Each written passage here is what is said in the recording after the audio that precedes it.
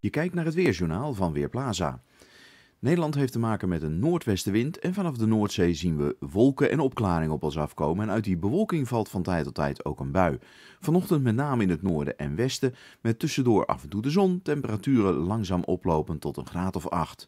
De wind is over het algemeen matig, maar bij zee waait het wel wat harder en in het Waddengebied waait het vrij krachtig. Vanmiddag wordt het 10 tot 12 graden met nog altijd kans op een enkele bui.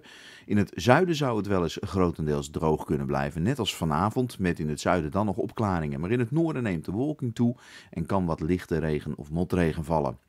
Die wolken breiden zich in de nacht over de rest van het land uit. En morgen zien we op veel plaatsen amper de zon. Misschien in het zuiden een klein beetje. Verder is het overwegend bewolkt en vooral in het noorden valt af en toe regen of motregen bij 10 tot 13 graden.